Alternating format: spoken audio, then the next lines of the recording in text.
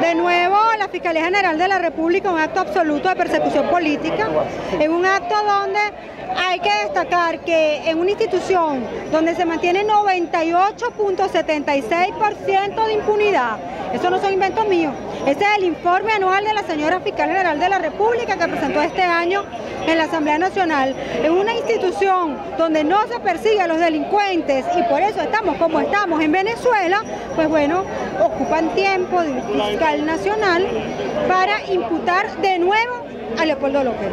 Si con actos como este lo que pretenden es callarnos, pues yo creo que ya es hora que se den cuenta de que se equivocan, no lo logran. Nosotros no nos silenciamos, a nosotros no nos callan con actos de amedrentamiento, ni con ningún acto que pretenda torcer nuestra voluntad y nuestra profunda convicción democrática.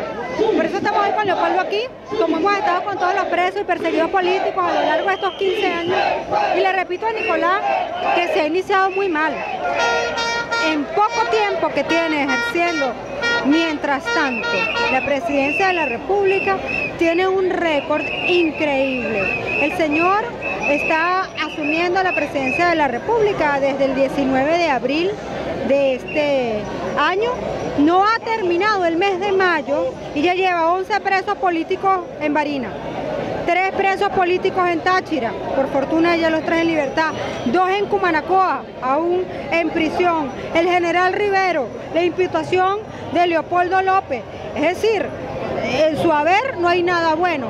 Pero adicionalmente hay que decirle a Nicolás que lo que más lleva son muertos a causa de la violencia. Y que sí, para concluir, la misión Patria Segura, que tampoco sirve, este mes lleva en la ciudad de Caracas 450 muertes violentas. Nicolás, eres un fracasado.